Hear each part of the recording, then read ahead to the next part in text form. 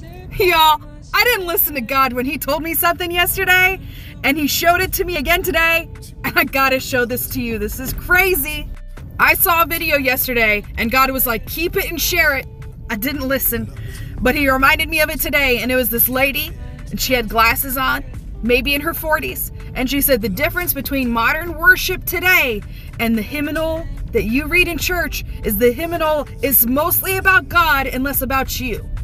And the modern day worship music starts with me first and ends with God. And I was like, there was just something about it. And I thought I had saved it or tapped it or something, but I didn't.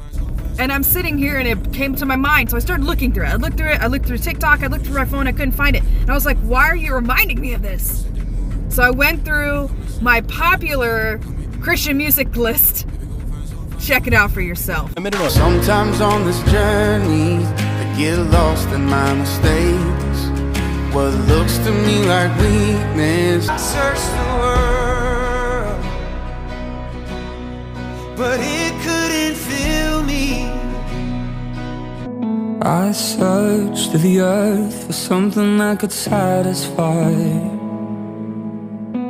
I've been hard on myself lately.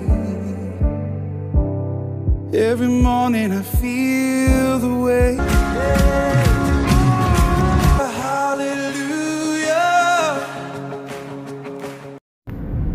They all start with I, me, I, me, I, I, I. What? Now, granted, I'm not saying all songs are like that now. I'm not saying all famous worship people do that. But just go through your list and see for yourself. Make sure it's about how strong God is and about how awesome Jesus is and what he's done for everybody. Just that tiny little thing makes a difference. And I after that I sat in my car and I looked through a ton of contemporary songs and it's like that a lot. It's like that a lot. So make sure you're make sure you know what I mean, Lord. And thank you to that lady who shared it. If you see this, thank you for bringing that to my attention because I didn't even see it myself. And I hope that this brings awareness to other people because I know I'm not the only one, okay? So go through your music. Make sure, just make sure, all right? You guys have a blessed day. If I find out anything else, I'll make sure I listen the first time, okay?